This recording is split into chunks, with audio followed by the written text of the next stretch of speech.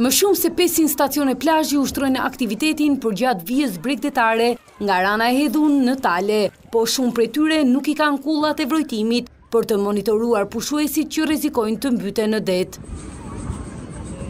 Personeli i rojës bregdetare është kusht për licensimin e subjekteve, por për të shpëtuar 7 vjeçaren në Shëngjin, Një ditë më parë në det u futën pushuesit. Shqetësimi është ngritur nga eksperti i turizmit Leonard Seferi. Ne e kemi thënë e rithënë shumë shpesh herë, por fatkeqësisht nuk ka gjetur akoma zgjidhjen e duhur, duke marrim parasysh faktin se nëse sot i hidhni një sy vijës bregdetare të Shëngjinit deri në Tale ku janë të mbi pesëqind stacione të kullave të vrojtimit dhe nëpër plazhe, Pothuajse nuk mund të shihni as edhe një vrojtues në kontekstin që do t'i shërbente qytetarëve, pushuesve në kontekstin e sigurisë. Mungesa e sigurisë në plazhe pranohet edhe nga Bashkia Lezhë, e cila duket se në dorë ka vetëm dërgimin e një task force për kontrolle në terren. Do merren masa deri në heqje licence nëse ato nuk plotësojnë kriteret e stacionit plazhit.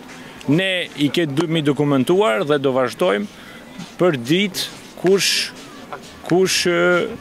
shkel, kush zbaton, nuk zbaton ligjin, do ketë masa. Masa për sigurinë e pushuesve janë marrë edhe nga policia.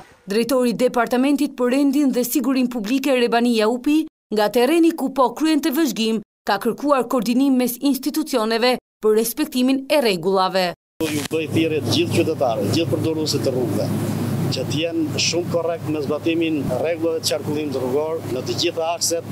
Kemi tashmë funksionimin e radarëve dhe të makinave inteligjente dhe kjo do të funksionojë gjatë gjithë njëzet e katër orëshit. Gjatë kësaj periudhe janë ndërshkuar me masa administrative drejtuesit e dhjetra mjeteve lundruese, si dhe janë bllokuar gjashtëdhjetë të tilla, që janë konstatuar në paligjshmëri ose në cënim të perimetrit të sigurisë.